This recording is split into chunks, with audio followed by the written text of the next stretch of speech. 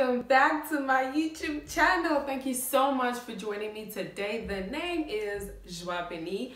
Um, so I just want to say actually that I got, I reached my first 100 subscribers.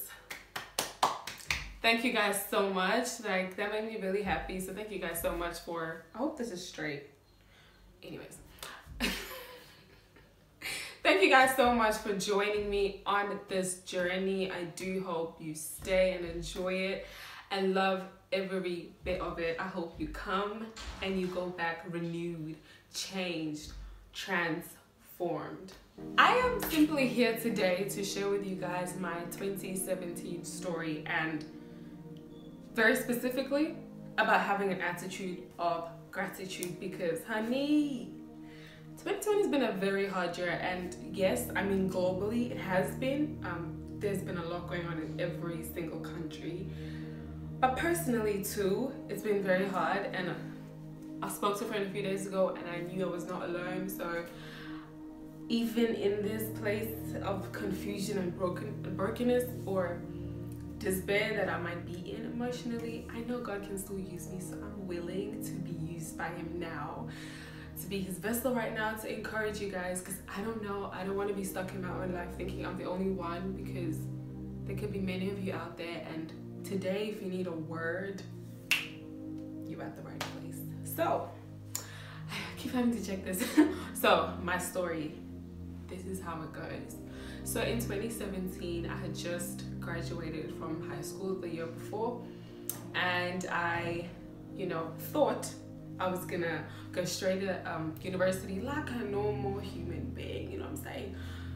Don't get me started on the societal pressures, by the way, but today's not a conversation for that. But society says, you know, graduate from high school, go straight to university, get married after, have babies, build your house somewhere before. It's a lot. It really is a lot. But today is not the conversation for that. So, yeah, um, you know, I thought I would have. Unfortunately, I couldn't for financial reasons, and I wasn't a citizen then, so yeah, I just couldn't start away straight away. Um, I did have to do bridging course though. That was free, so I did that. But after then, I couldn't really study. So there was like three years of me being stuck in limbo, just being home, not, not doing much. Also didn't have, I, I was really struggling to, to get a job, which I understand, I'm young. Um, you might be thinking, why do you need a job when you're like, how old is that? 18, 19. Which is fair enough, but I wasn't living for myself. I was living for my society, and society said, you must have a job, honey.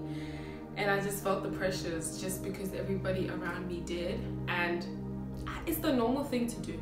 It's the normal thing to do in Australia, you know, even younger people, you know, start working and stuff.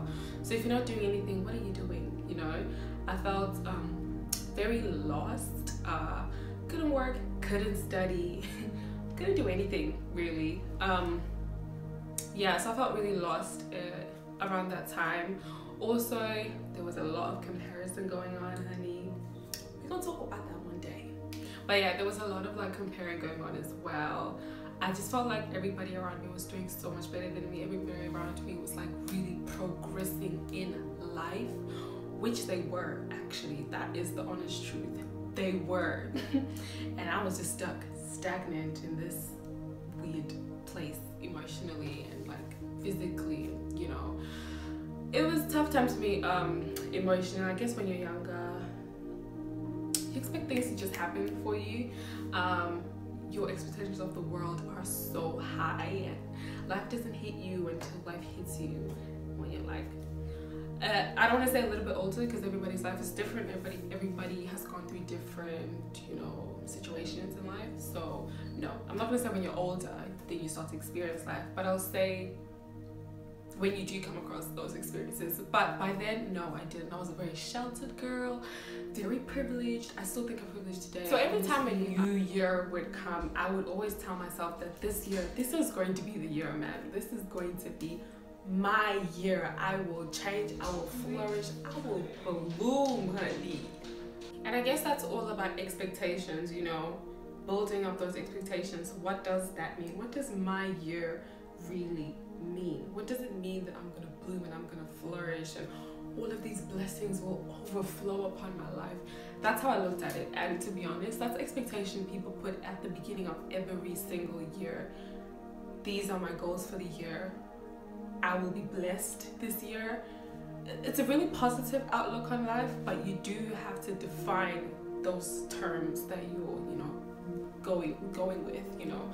What does my year really mean? So I had to redefine what my year meant because in 2017, my year meant I will finally get that job. I will finally be able to study and finally, you know, complete this degree. I will finally flourish in life. I will finally feel like myself again. I will finally not be depressed ever again. I'll be joyful. I will own back my joy, reclaim my joy is the word. But I realized very quickly that that's not what my year should at least mean. My year, you know, subjective, depending on the person, yes, but um, overall, things need to change because I, I decided that things needed to change because, you know, like I told you, that's what I thought my year meant. But in that year, it was probably the best year growth wise for me. Although I feel like 22 is topping that up. 22 is doing amazing things inside, but but you know I I was the most broken though in 2017. Yet I still left that year feeling like I did flourish, I did bloom, I did bloom this year. Not in the way that I expected to, but in the way that I needed to, in the way that my soul needed to flourish. So let's redefine joy as well because I thought that will be my most joyful year yet, or at least every single year that that passed, except this year. You know, I thought this would be my this would be my joyful year yet, and if you, if you look at the definition of joy, it's it's yes, you know, the state of happiness and stuff, but it's deeper than that. It's it's not happiness based on on on on circumstance. You know, it, it's happiness that goes beyond circumstance. It means no matter what circumstance I am in, I am joyful because my joy is not grounded on these blessings that I have. So when these blessings go away, I am still joy I'm still joyful. I'm still me. Um, so yeah, I I had to redefine joy and I had to redefine what my year meant so that I walk into and step into each year after that with a different attitude and a different mindset. And that's really my message today, part of it. my message today. Um, I don't know what expectations you have for 2020. I really don't. I don't know what you you told yourself this year, what you expected this year to be. But I just hope you're you're redefining those terms now. What does blessings really look like? You know, because that year I learned a lot about what joy meant, and learning something new, it's a blessing. Being exposed to something new and different about yourself is a blessing. You know, learning to love yourself differently is a blessing all of those things are a blessing. And fact, the fact that we're still alive blessing you know? There we go. So um as long as you're redefining those terms and what they mean so that you walk in i'm not saying expectations are not good. I'm saying remember that your life is not in your hands you know? Your life is in whose hands? God's hands. So at the end of the day although it's, it's really positive to go into a year with a positive mindset you can do that but don't make what's the word? Don't don't try to hold the pen. Don't try to write the story of how the year will pan out exactly, because no matter what, when the year ends, you're gonna get exactly what your soul needs. One hundred percent. So I say this all to say that 2020 has been rough. You know, like all of the things that have been affecting people globally may have then translated into our personal lives and then affected us personally too. I don't know, but I I I do want to look at having an attitude of gratitude as well because my I've been really struggling to just like be happy, you know, like just um I'm not saying this so you can feel bad for me, but like genuinely I've been really struggling to like just just be happy. So I decided to come up with a new life routine, right? Every morning when I wake up, I write down at least three things that I'm grateful for today. And if I can't think of it then, when the when the day ends, think about what you are grateful for in that day. What about today made it so special? What did you learn in this day? And it's, it's been a very eye-opening experience because I think it's shifted my mindset to even in this place from sadness, despair, whatever you want to call it, whatever it is for you, there is still something to be grateful for. So I, you know, if you guys want to join me on the challenge, do that in your own personal lives. Write down every single morning, I am grateful for this. I am grateful for this. It could be whatever.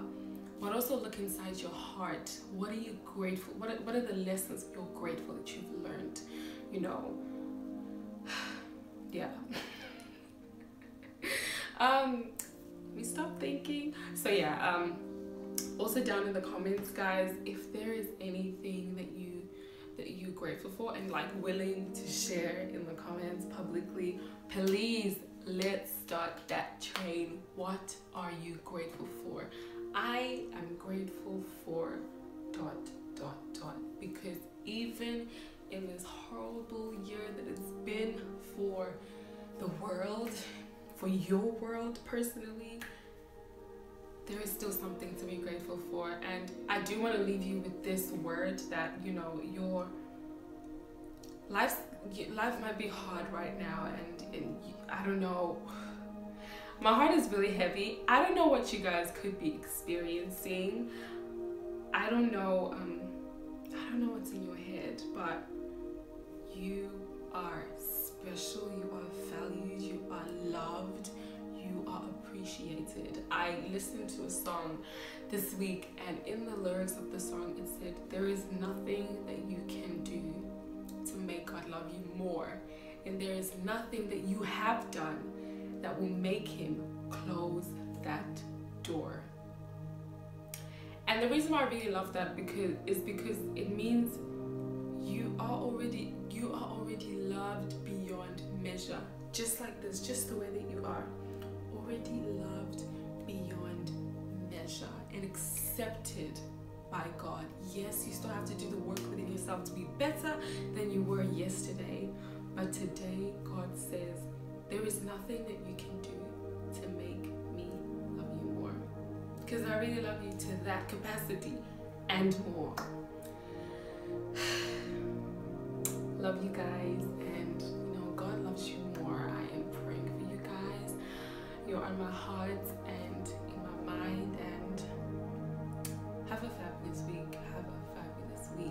I do hope you enjoy the rest of the year with a different mindset. You know, look at it differently. What does God want from you this year? If you achieve that, you've achieved enough.